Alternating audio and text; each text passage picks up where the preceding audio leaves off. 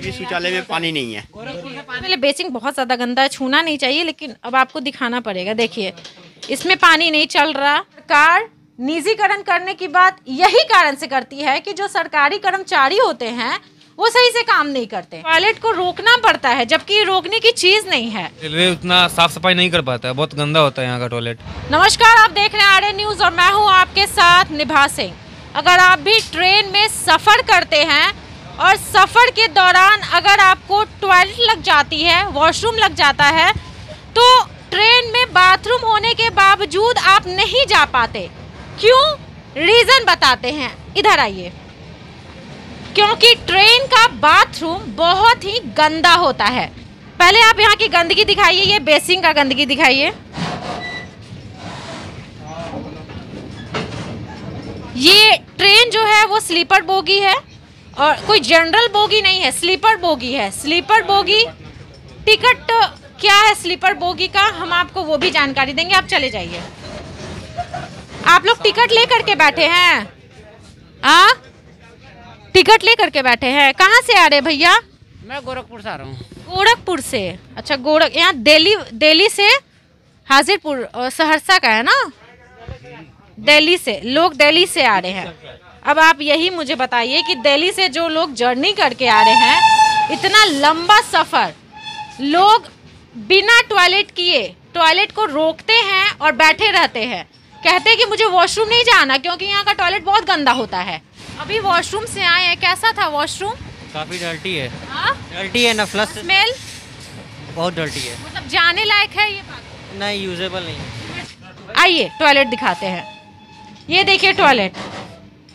यहाँ इतना स्मेल आता है इतना स्मेल कि शायद बीमारी हो जाए अगर कोई टॉयलेट यहाँ पर टॉयलेट यहाँ का यूज़ करे तो। हम भी पाँच घंटे की जर्नी होकर के आ रहे हैं और टॉयलेट को रोकना पड़ता है जबकि रोकने की चीज़ नहीं है। भैया लोग हैं बात करते हैं। भैया कहाँ से आ रहे हैं आप लोग?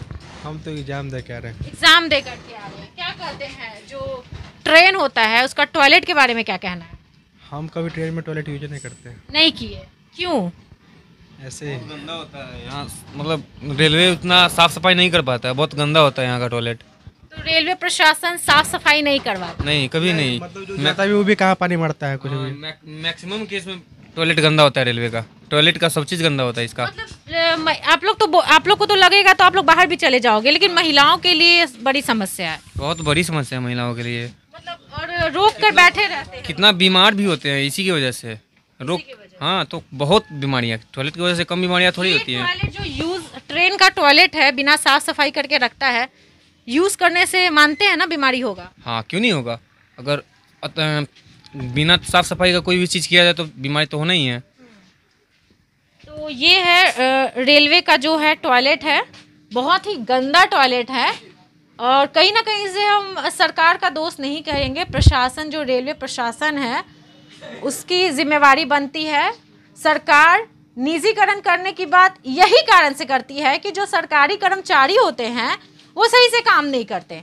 इसीलिए इसे निजीकरण कर दिया जाए, प्राइवेट के हाथों सौंप दिया जाए, ताकि ये सब जो व्यवस्था है साफ़ सफ़ाई है, वो बढ़िया हो सके। देखिए, यहाँ से दिल्ली से लोग आ रहे हैं, खुद सोचिए, इतनी लंबी जर्नी, इतना लंबा सफ़र। क्या भैया? शौचालय में पानी नहीं है। ये मैं नहीं यहाँ के लोग कह रहे हैं। मैं गोरखपुर से आ रहा हूँ किसी भी शौचालय में पानी है ही नहीं है। बिना पानी के किसी को अगर टॉयलेट जाना हो तो वो पॉसिबल है? बिल्कुल नहीं। मैं दो चक्कर गया हूँ चेक करके मैं ऐसे वापस आ गया हूँ।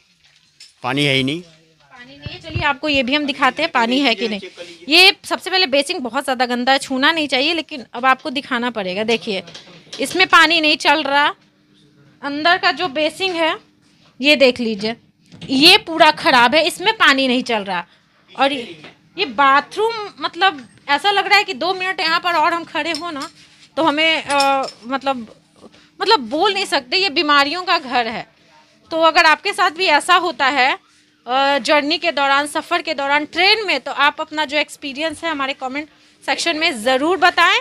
और अभी तक आपने हमारे चैनल को सब्सक्राइब नहीं किया तो जल्दी से सब्सक्राइब करें फेसबुक पेज को भी लाइक करें और हमारे वीडियो को ज़रूर शेयर करें ताकि इस पर कुछ एक्शन लिया जाए। नमस्कार।